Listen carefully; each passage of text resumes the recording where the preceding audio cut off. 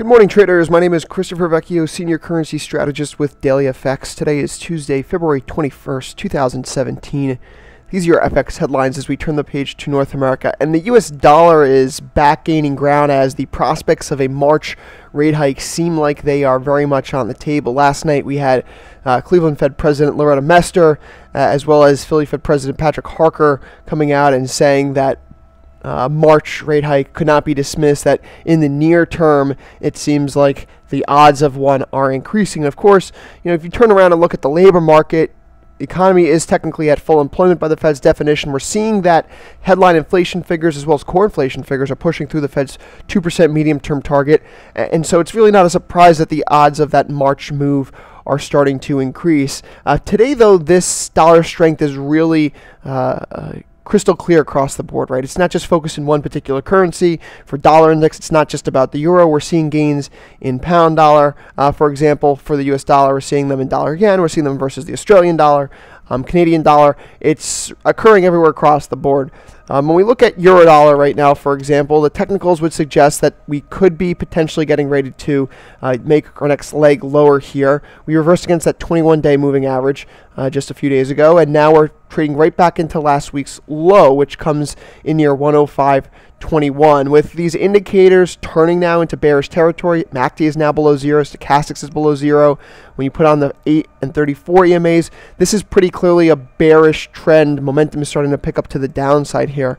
Same thing can be said about pound dollar, although while it continues to work its way through the recent short-term triangle, it's important to note that we just had this key reversal occur on February 1st and February 2nd, and right now if we actually scroll down to a 4-hour time frame, it's very much possible that this is is just a symmetrical triangle coiling up, getting ready for its next move to the downside. Of course, given that this is a triangle, we'd want to wait to see uh, if we can break out through the recent swings first, and that would mean 123.85 or so, and then 123. 45 or so. Uh, this is the case again across the board here. My interest today is among the commodity currencies, though. In particular, when you look at something like dollar CAD, it appears that it's getting ready to make its breakout outside of this falling wedge, something we've been watching for the past several weeks very patiently. Of course, for, for more conservative entry traders, then perhaps that means clearing out the swing near 132.15 or so. Uh, ultimately, though, taking a stop against the recent low here in that 129.60 neighborhood provided the opportunity. You're risking about, uh, let's say, you know, 180 pips from this point in time, and yet you're still looking for 450 or so to the top side. So risk reward down here is still uh, rather favorable.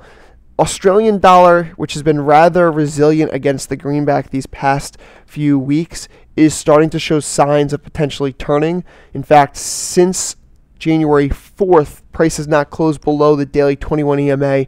And here we are after making a false break out of the range that's guided us over the past few weeks since February 1st. We attempted to climb back outside this range. We weren't able to settle up there for too long. Now on a daily time frame, it looks like we could do for a break lower. If we get a close below that 21 EMA today, which is currently 76.52, then the odds of Aussie dollar having topped out, failing once again in this 76 we'll call it actually 77 to 77.75 area, which capped off price in March through December this year, uh, uh, recent months, excuse me, uh, 2016, that would be a very strong indication that we're due for a turn. Likewise, Kiwi dollar, which has been under pressure ever since the RBNZ signal that it was looking for a weaker exchange rate is getting ready to take out last week's lows. If we see price move below 71.34, given the state of these indicators, given the state of price relative to the moving averages, it would seem that the odds are increasingly high that we see further losses in Kiwi dollar. And putting in context of this false breakout to the top side here, that would be rather foreboding for dollar crosses, if you will, in these commodity pairs, generally speaking. So Aussie dollar, dollar CAD, uh, Kiwi dollar, they're all looking like they're due for uh, further moves in this direction of dollar strength. When you look around the horn right now with euro dollar and pound dollar, they both look like they'd be getting ready for, for breaks lower as well. So today really could be all about the dollar finding some firmer footing.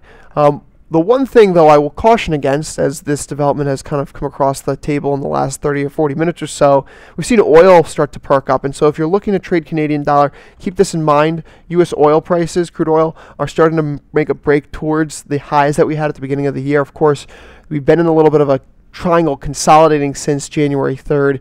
January 3rd did give us a key reversal there at the high. So, uh, technically speaking, right now, 55.21 would be the first point of interest due up next. If we're not able to crack on through there, then this very well could be somewhat of a false break. Keep in mind right now when you look at uh, the COT uh, report from the CFTC, as Jamie Saettele pointed out, um, yesterday that oil net longs are at a record high right now. And, and, so this is a very crowded trade. That doesn't mean that price can't continue to go higher, but uh, there's not a lot of ammo left in the tank to push prices uh, that much higher overall. Uh, given what we see on the calendar today, again, we've, we've already had quite a bit of economic data due from the Eurozone. These PMI readings were a little bit better than expected. Today, it is quiet ish on the economic calendar.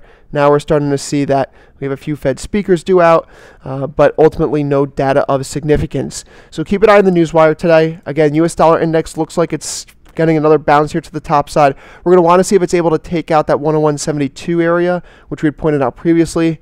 After we cleared out that key reversal from January 30th, the next level of interest was that 101.72 figure between January 16th and January 19th, and now it looks like we're due for another rebound back up there, particularly as these momentum indicators perk back up to the top side. All right, that's it for me today. I'll be back later on with another video. Of course, you can always reach out to me through the Daily FX Real-Time Newsfeed, StockTwits, and Twitter at CVecchioFX. You can email me, cvecchio at dailyfx.com. If I don't speak to you before, then good luck trading the rest of today. Of course, tomorrow morning I'll be back with the Trading Q&A webinar, 6 Eastern, 11 GMT. Hope to see you there.